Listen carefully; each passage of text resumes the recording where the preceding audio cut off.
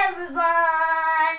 I am Prajakta and today we are going to learn about some important question answers of chapter Work People Do. आज हम लोग chapter work people do का कुछ important question answers के बारे में जानेंगे तो पहले हम लोग पढ़ते हैं डिफाइन द फॉलोइंग टर्म्स के बारे में। तो पहला क्वेश्चन है ऑक्यूपेशन तो ऑक्यूपेशन का इस इस क्वेश्चन का आंसर होगा कि a work any work done to earn money is called an occupation कोई भी काम, चाहे वो टीचिंग हो, चाहे वो ट्रीट करना हो, डॉक्टर हो, या फिर कारपेंटर हो, कोबलर भी हो तो भी उससे हम लोग पैसा कमा सकते हैं। कोई भी काम पैसा कमाने पैसा कमाने के लिए किया जाता है तो उसे हम लोग ऑक्यूपेशन कहते हैं। इसके बाद वाला है एक्सपोर्टेड तो एक्सपोर्टेड इसका इसका हम लोग आंसर ऐसे देंगे टू सेंड गुड्स और commodities to other countries for sale. तो कोई भी चीज़, वो कोई भी चीज़ हो, वो दूसरे कंट्री को वो दे रहा है सेल पे तो उसे हम लोग एक्सपोर्टेड कह रहे हैं। वो उसे दूसरे कंट्री को दे रहा है।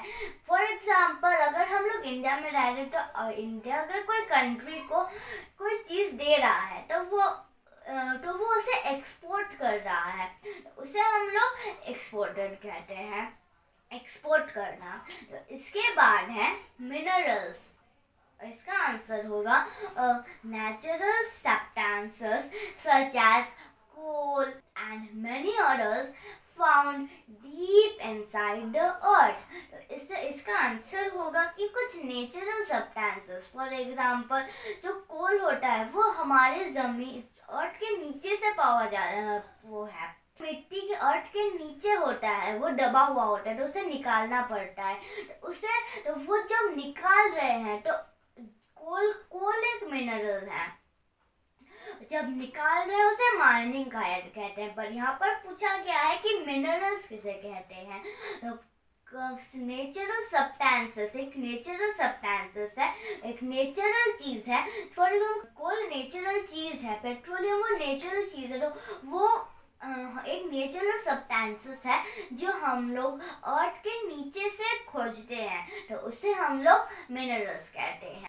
इसके बाद है answer the following question answer the following question में पहला क्वेश्चन है what is occupation write the names of any four occupation तो occupation क्या है चार occupation के नाम लिखिए तो occupation any work done to earn money is called an occupation the names of four occupation are doctor farmer carpenter teachers and etcetera तो वहाँ पर चार पूछा गया है तो हम चार से ज़्यादा नहीं लिख सकते।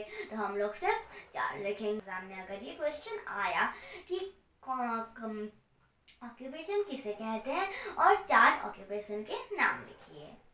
तो अगर ये भी क्वेश्चन आया कि ऑक्यूपेशन किसे कहते हैं तो हम इसे तो हम ऐसे भी लिख सकते any work done to earn money is called an occupation many types of occupation in villages people do a very common occupation known as farming in different cities in different places, people have different types of occupation.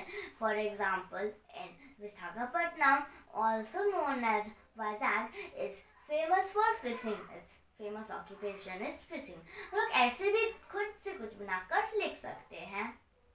इसके बाद है what does farmer needs to grow crops एक farmer को क्या चाहिए crops grow करने के लिए? एक फार्मर को हमेशा पहले तो उसे चाहिए एक पीस ऑफ़ लैंड जिसमें वो ग्रो कर सके। तो पहले उसे पीस ऑफ़ लैंड चाहिए और उसे फर्टाइल सॉइल चाहिए। जो वो पीस ऑफ़ लैंड वहाँ पर डिसाइड करता है, उसमें वो क्रॉप्स ग्रो करेगा। पर ऐसा तो नहीं है कि वो डेजर्ट में क्रॉप ग्रो करने जाएगा। तो डेजर्ट का जो सॉइल है वो सैंडी सॉइल है, वहाँ पर ज़्यादा प्लांट्स ग्रो नहीं करेंगे तो वो वहाँ पर नहीं जाएगा। या फिर वो क्ले सॉइल में प्लांट्स ग्रो करने नहीं जाएगा, वो हमेशा एक लोमी सॉइल होना चाहिए प्लांट्स ग्रो करने के लिए। क्योंकि लोमी सॉइल प्लांट्स ग्रो करने के लिए बहुत अच्छा होता है। लोमी सॉइल प्लांट्स के लिए बहुत अच्छा होता है। तो उसे एक फर्टाइल सॉइल खोजना खोजना होगा। एक परफेक्ट क्रॉप ग्रो करने के लिए। तो इससे तो इसे हम लोग ऐसे लिखेंगे कि A farmer needs a piece of land and a fertile soil. A farmer needs a piece of land and a fertile soil to grow crops. He or she will also need some water to irrigate the field. तो uh, उसके उसे कुछ farmer को वो उसे तो जगह मिल गई फर्टाइल सॉइल मिल गई, पर वो जब क्रॉप ग्रो कर रहा है, वो रेन पर तो निर्भर नहीं रह सकता, पर ऐसा है कुछ कुछ फार्मर्स जो वो रेन पर निर्भर रह रहे हैं, पर उनके अगर क्रॉप्स को हम लोग देखेंगे, वो बहुत ही खराब हो जाते हैं, क्योंकि रेन रेन का तो कुछ ठीक नहीं, वो कब आता है, वो कभी कभी साल में दो से तीन बार भी आ सकते हैं, इसलिए क्रॉप बहुत हार्म होते हैं इसलिए उस वजह से फार्मर्स को कुछ पानी का इंतज़ाम तो करना ही होगा। तो उनके उनके, उन्हें पानी भी चाहिए फ़ार्मिंग करने के लिए। Your seed will also need some water to irrigate the field. इसके बाद वाला क्वेश्चन है what is the difference between poultry farmers and dairy farmers तो पोल्ट्री फार्मर्स और डेयरी फार्मर्स में क्या अंतर है? तो इसे हम लोग ऐसे लिखेंगे कि हम लोग poultry farm poultry farmers poultry farmers जो है farmer who keeps chickens and ducks in their field are known as poultry farmers एक फार्मर जो अपने फार्म में चिकन्स रख रहा है डक्स रख रहा है तो उससे, वो रख रहा तो उसे पोल्ट्री फार्मर्स कहते हैं। We get eggs and meat from this farms हम लोग एग्स मीट ये सब पाते हैं उन फार्म से, क्योंकि वह जो है, वो डक्स रख रहा है तो डक्स हम लोग एग्स ले सकते हैं। चिकन रख रहा है चिकन से हम लोग फ्लेश ले सकते हैं तो वो मीट हो गया। तो इससे हम लोग तो यूज़ कर सकते हैं। वन फार्म से हम लोग चिकन हम लोग मीट एग्स ये सब पा सकते हैं खरीद सकते हैं इसके बाद है dairy farmers farmer who keeps cows, buffaloes, goats, etc. in their farm are called dairy farmers. तो कुछ फार्मर्स जो हैं वो अपने फार्म में मिल्क प्रोडक्ट मिल्क देने वाले कुछ एनिमल्स रखते हैं for example cow buffaloes goat ये सब वो रखते हैं क्योंकि उनसे हम लोग दूध पा सकते हैं तो वो रखते हैं तो उसे हम लोग डेयरी फार्मर्स कहते हैं, we get milk from these farms. हम लोग उस फार्म से मिल्क पाते हैं, दूध पाते हैं। और फार्म, एक फार्मर जो होता है, वो उस दूध को मार्केट में सेल कर देता है ताकि वो पैसा कमा सके। इसके बाद है right five things we get from plant पाँच चीज़ों के नाम लिखिए, जो हम लोग प्लांट से पाते हैं। इसका आंसर हम लोग ऐसे लिखेंगे कि Five things that we get from plants are wood, gum, honey, lax and herbs. Wood से हम लोग हनी पा सकते हैं वुड पा सकते हैं लक पा सकते हैं रबर पा सकते हैं और बहुत कुछ पा सकते हैं। तो ये पाँच हम लोग लिख सकते हैं अगर एग्ज़ाम में ये क्वेश्चन आया। तो इसके बाद वाला क्वेश्चन है what is mining right the names of any four minerals तो माइनिंग क्या चीज़ है? चार मिनरल्स के नाम लिखिए। इस क्वेश्चन का हम लोग ऐसे आंसर देंगे कि माइनिंग तो माइनिंग का मतलब होता है कि ग्राउंड को डिग करके मिनरल्स निकालना और चार मिनरल्स का नाम है coal steel aluminium and petroleum तो इसे हम लोग ऐसे लिखेंगे और इंग्लिश में हम लोग इसे ऐसे लिखेंगे कि digging up of minerals from inside of the earth is called mining. The names of any four minerals are coal, steel, aluminium and petroleum यहाँ पर सिर्फ़ चार पूछा गया है तो हम चार से ज़्यादा नहीं लिख सकते हम लोग सिर्फ़ चार लिखेंगे। अगर ये क्वेश्चन एग्ज़ाम में आया तो हम लोग ये चार लिख सकते हैं। ये बहुत ही कॉमन है और इसे याद करना बहुत ही सिंपल है बहुत ही इजी है।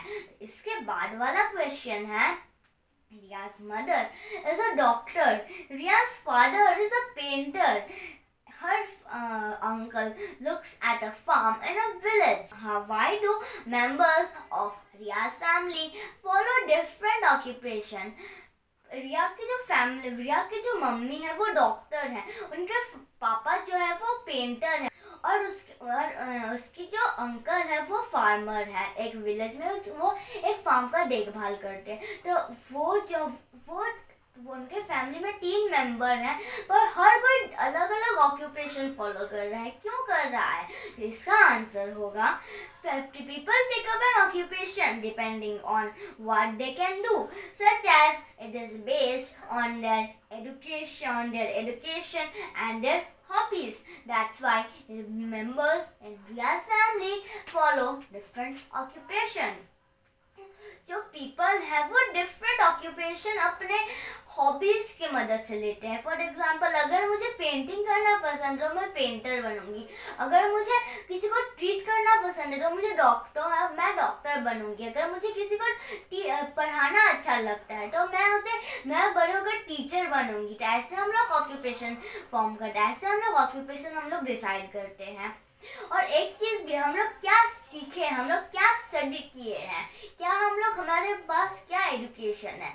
अगर हम लोग डॉक्टर के बारे में पढ़े हैं और हम लोग चाहते हैं मैं, हम लोग टीचर हो जाए, क्या ये मुमकिन है? ये मुमकिन नहीं है। तो ये ये नहीं हो सकता। ये एजुकेशन के बेस्ड भी होता है।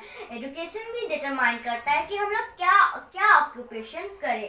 तो रियाज फैम रियाज को रिया का जो मम्मी है रिया की जो मम्मी है वो डॉक्टर है क्योंकि उसे क्योंकि उन्होंने जब उन्होंने डॉक्टर लोगों को ट्रीट करना पसंद था उनको इसलिए उनने उन, उन, उन्होंने डॉक्टर कैसे डॉक्टर कैस डॉक्टर के बारे में उन्होंने एजुकेशन ली।